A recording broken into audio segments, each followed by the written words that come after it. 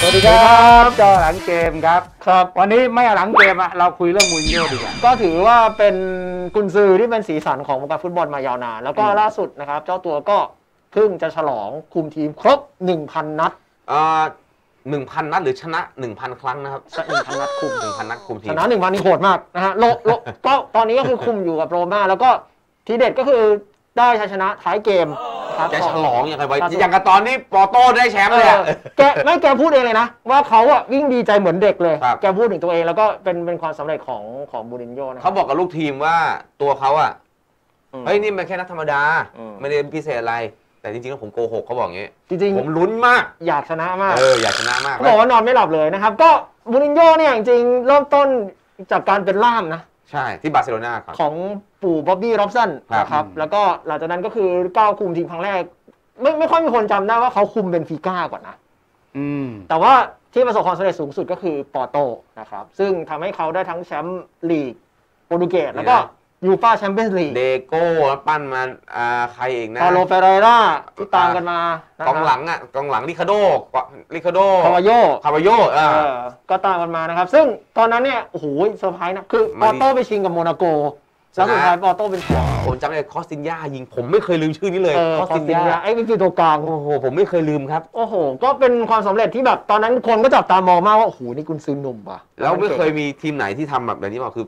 เล่นเน้นรัดกลุ่มโคตรอืมโคตรบอลแบบสุดสุดสำเร็จอืมนะบอลเน้นการตั้งรับไม่ยอมเสียประตู แล้วก็พอหลังจากนั้นเขาก็มาเปิดตัวกับเชลซี ซึ่งซีซั่นแรกโหดแบบ โอ้โหได้สถิติแชมป์ยังคงยืนยงถึงทุกวันนี้เนี่ยเสียประตู 15 ลูกอะนะ ทั้งฤดูกาลน่ะใช่แล้ว clean sheet แบบ โอ้โหมโหฬารเป็นเจ้าของบริษัทรถทัวร์ซื้อซื้อปีเตอร์เช็คมาอืมแล้วได้แชมป์แบบ ต้องต้องใช้คำว่า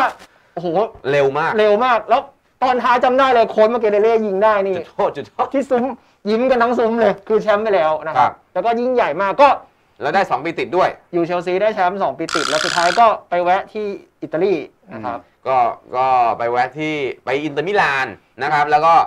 คุมมาสัก 3 ปี พาอินเตอร์ได้ 3 แชมป์อีกได้แชมเปี้ยนลีกอีก ค่ะ โอ้โห ตอนนั้นได้แชมป์ด้วย อะไรนะดิเอโกมิลิโต ใช่ไอ้กองหน้าคือ The Special One อ่าลูซิโอกองหลัง แล้วเออเวสลีย์ชไนเดอร์โอ้โหทีเด็ดเออทีเด็ดเลยอันนั้นใช่ ซึ่งตอนนั้นน่ะทุกคนก็รู้สึกว่าโอ้โหนี่มันแน่นอนสุดท้ายเขาก็ไปเลยแมดริดได้ไปจุดสูงสุด ซึ่งมาดริดอะมันมันเป็นช่วงที่มีการไอ้ปรับคุมเปลี่ยนก็เยอะได้ทีนี้ไม่ใช่เริ่มมีรอยร้าวแล้ว เริ่มมีการอืมทะเลาะกันอืมโดยประเด็นแรกที่แกทำนะไปสร้างวีรกรรมคือไปไปอ่าไปดองอีเก้คาซิยัสผมจำได้แม่นเลย โอ้โห แล้วเอาเดียโก้โลเปสเป็นโก นี่คือขวัญขวัญใจแฟนบอละตำนานของทีมเขาแล้วทะเลาะกับลามอสทะเลาะกับสุดท้ายอยู่ไม่ได้ทะเลาะกับนักเตะ แบนก็กลับมาเชลซีอีกรอบกลับมากลับมาปีแรก ไม่เท่าไหร่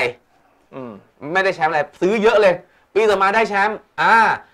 หลังจากนั้นทะเลาะกับสหภาพแรงงานโดนมีประเด็นกับคุณหมอ อืมเออใช่